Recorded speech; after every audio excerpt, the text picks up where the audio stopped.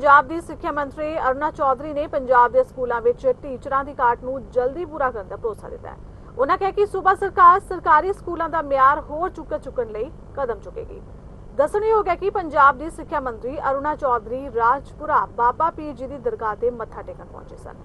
ਰਾਜਪੁਰਾ ਪਹੁੰਚਣ ਤੇ ਹਰਦਿਆਲ ਸਿੰਘ ਕੰਬੋ ਵਿਧਾਇਕ ਰਾਜਪੁਰਾ ਕਾਂਗਰਸ ਪਾਰਟੀ ਨੇ ਅਰੁਣਾ ਚੌਧਰੀ ਦਾ ਨਿੱਘਾ ਸਵਾਗਤ ਕੀਤਾ।